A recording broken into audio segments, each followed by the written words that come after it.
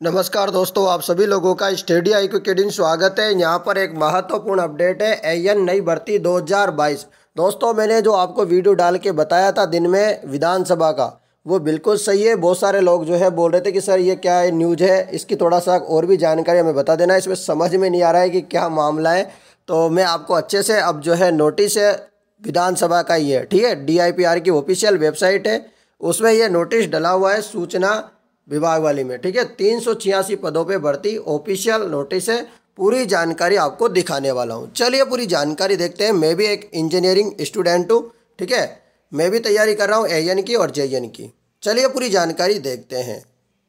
तो आपको हर पल पल की अपडेट देखने को मिलेगी ए एन जे एन की। बिल्कुल भी आप सभी विद्यार्थी मेरे साथ जुड़ जाइए। आपको हर पल पल की अपडेट मिलेगी।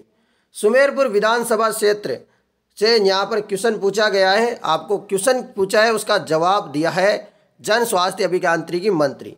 तो सहायक और कनिष्ठ अभियंताओं के रिक्त पदों को प्राथमिकता के आधार पर भराया जाएगा। जन स्वास्थ्य अभियांत्रिकी मंत्री डॉक्टर महेश जोशी जी। तो ये नौ मार्च आज ही की खबर है। अभियांत्रिकी जो मंत्री है, पीएचडी मंत्री महेश जोशी ने यहाँ पर बुधवार यानी कि आज ही के दिन रिक्त पदों के बारे में जानकारी दी है। तो थोड़ा नीचे चलते हैं। यहाँ पर अभी जो है तीन पद यन के मिले हैं, सात पद जयन के मिले हैं इनको। यहाँ पर कितने पद रिक्त हैं, क्या है, ये मामला यहाँ पर बताया गया है। जो कि आप देख सकते हैं, इस प्रकार का मामला है, ठीक है?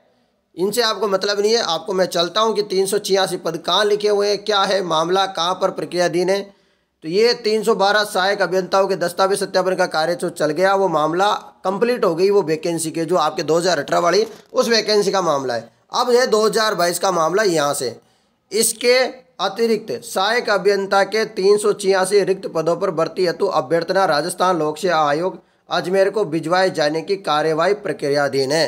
तो यहाँ पर कार्यवाही प्रक्रियाधीन है। आप देख सकते हैं, तीन सौ छियासी पदों पर भर्ती की प्रक्रिया कार्य, कार्यवाही प्रक्रियाधीन है। तो यानी कि अभी प्रक्रिया में चल रही है। यहाँ पर भिजवाया जाना है आर को। उसके बाद यहाँ पर भर्ती की जाएगी। ये महत्वपूर्ण अपडेट है। आप लोगों के लिए जो कि देख सकते हैं, उन्होंने बताया कि उपरोक्तानुसार सीधी भर्ती से चयनित अभ्यर्थियों को सहायक अभियंता एवं कनिष्ठ अभियंताओं के पद पर नियुक्ति दी जाकर रिक्त पदों सहित विभाग में अन्य अभियंताओं के रिक्त पदों को भरा जाएगा। और आपको पता है कि दो सौ अड़सठ पदों पे आपके यहाँ पर लगभग तीन सौ अड़सठ पदों के।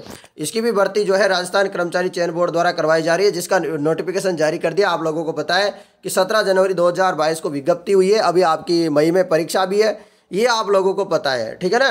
तो ये जानकारी लगातार समय समय पर मैं आपको बताता रहता हूँ। देख सकते हैं, यहाँ पर यह महत्वपूर्ण अपडेट है एन और जयन पीएचडी विभाग की ये भर्तियों का विवरण मैंने आपको बता दिया।